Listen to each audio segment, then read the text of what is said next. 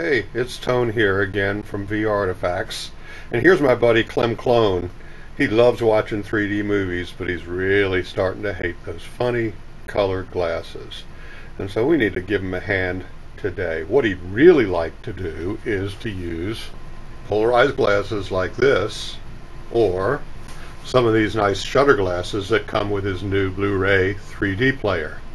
The trouble is, a lot of his favorite movies are never going to come out on 3D Blu-ray. They were always set up for these funny colored glasses. They're called anaglyph. And Clem here doesn't like that. So we're going to help him out. We're stuck with all these anaglyph 3D movies. And a lot of these old movies, the prints don't exist except in anaglyph, and the studios aren't interested in re-releasing them.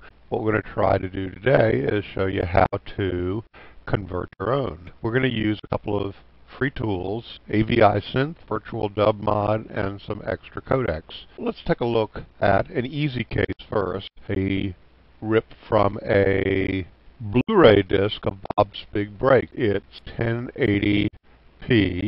Here's a little bit of stuff I preset up, and it's all driven by a simple scripting system that's used by AVI Synth. And so we're going to bring up the script editor. And actually our scripts come in two sections. One is the invariant part that never changes. It's got all the code to do everything you need. But then there's a parameter part where you set all the things that you want to do in your video conversion. And you'll have one of these for each of the video files you want to convert. Let's take a look at the actual parameters and talk about what they do. Remember, we're starting with an anaglyph video. So what we're going to do first is tell it the name of the anaglyph file, where it is on your disk drive. I'm using MKV files here, Matroska files, but you could use AVI, Windows Media. Um, second file is whatever video file we want to use where we want to pull the just the color information out of. And in this case, we're really lucky because Bob's Big Break is distributed in both 2D and in 3D, and so we have this nice 2D version with all the color there, even though the 3D version is anaglyph. It's got um, both green and magenta encoding on it. And just as a separate naming, although we're using the same file, we've got a monoscopic version of this, and it's going to turn out that this, the monoscopic version, is the left eye view. It's the perfect representation of the left eye view. So in this case, we only have to reconstruct the right eye view. And then lastly, the file name for where we want to pull the sound from. And we'll pull it from the 2D version of the video, but you could probably pull it from the 3D, it's fine. Um, this script handles either red cyan anaglyph or green magenta. I know that this movie is green magenta, having looked at it. Um, so we'll select GM rather than RC, and then you know, maybe we already have one eyes version as we talked about, and so there's a parameter here that says is mono, and we've chosen mono left, meaning that the left eye view comes from our monoscopic file, the 2D version. We could set it to mono right if we knew that our 2D version was really the right eye view, or we could set it to mono none, meaning we don't have a 2D version and we're going to have to create both eye views out of the anaglyph video. Um, we have the ability to swap eyes in case you wanted to look at it cross-eyed or parallel viewed.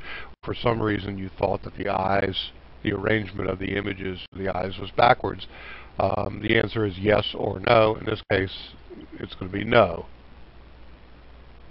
Now, we're going to output a single video file, and we can output with AVI Synth, either Windows Media, AVI, Matroska, um, a variety of formats. But the arrangement of the stereo views, we could do them side by side, where the left image is on the left side, right image is on the right side, or we can do side by side where the right is on right image is on the left side and the left image is on the right side, or we can do top and bottom where the images are stacked, um, either left on the top or left on the bottom, your choice. Um, and there's um, parameters here. It could be SBS left first, SBS right first, TB left top, or TB right top.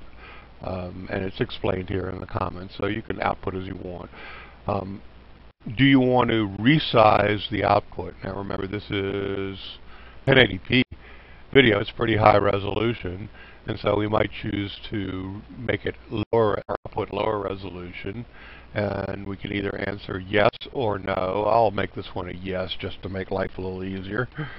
And then just below that we can set those actual dimensions, and the dimensions are for whatever um, horizontal or vertical stacking that you use. We're doing a horizontal arrangement here, so I'm making it quite wide, 500 pixels wide and only 200 pixels tall, which corresponds to this area up here.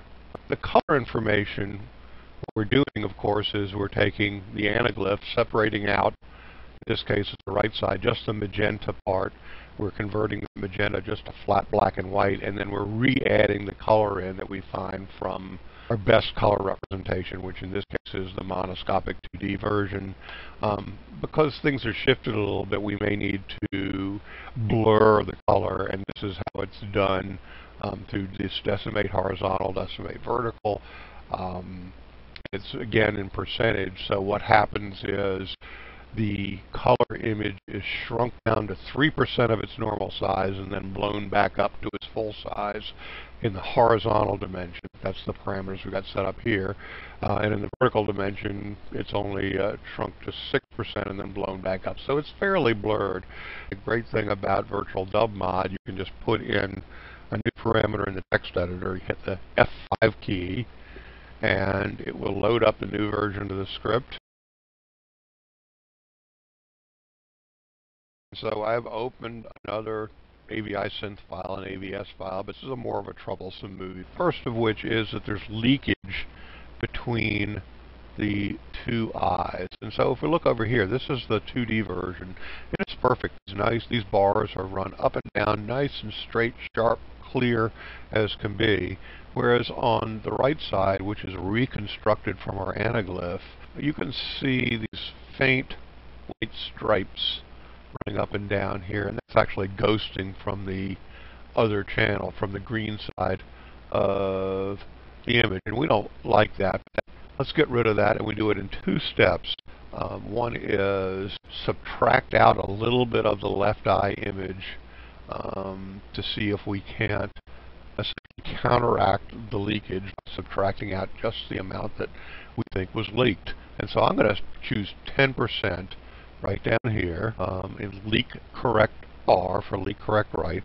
Uh, we'll hit the F5 key and see how it updates. And as you can see, it's considerably better. The next problem is along the edge of the leak, there's a fringe. It's a video encoding issue that we do a slight horizontal blurring of right image, and I'm going to change this from a 1, which means no blurring, to a 2, which means a modest amount of blurring. And now you can see it's much reduced, and, and, even though it's just uh, the right uh, image is a bit softer. Um, and so lastly, we want to look at maybe color balancing. So if we look at this, we can see that the 2D version, the colors are fairly well balanced and saturated, whereas the one we reconstructed, you can see things are a little bright, a little washed out. So I want to bring the brightness down, and so I'm going to pull out about a value of 50 from the brightness. I think we need more contrast, and so I'm going to go 1.35 for the contrast here. And I think the image is kind of desaturated, so add a bit of saturation, change it from 1.0, which is no change, to 1.3, which is going to make it more saturated. And I'll hit my F5 key, and we process, and now you can see that things are much better. This red shirt looks kind of reddish. Maybe it's a tad bright, but it's um, not a bad guess. I think that gives you a flavor for this. Certainly all the technical details are not explained here, but you can take a look at vrtifacts.com and get a detailed technical breakdown and download all the open source code that we've developed. Until next time, we'll see you.